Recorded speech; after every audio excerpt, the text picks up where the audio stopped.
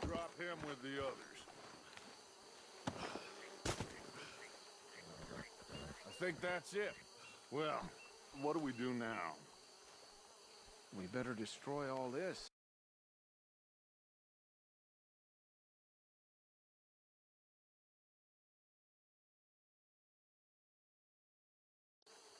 Any of your boys can handle explosives? Sure, anyone but him. So, think you're real funny, don't you? Tell me about the... that is the last time I'll mention it. I